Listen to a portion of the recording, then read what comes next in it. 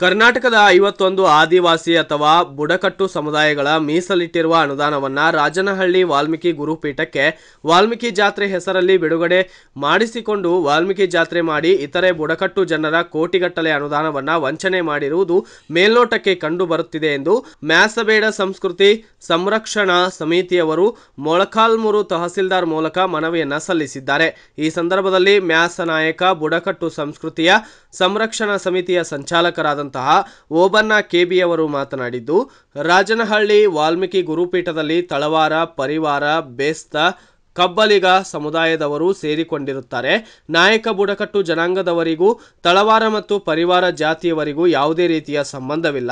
ತಳವಾರ ಜಾತಿಯವರಿಗೂ ಬುಡಕಟ್ಟು ಜನರೇ ಅಲ್ಲ, ಮತ್ತು ಇವರಿಗೆ ಯಾವುದೇ ರೀತಿಯ ಬುಡಕಟ್ಟು ಲಕ್ಷಣವಿಲ್ಲ, ಇರುವುದಿಲ್ಲ ಎಂದು ಹೇಳಲಾಗಿದೆ.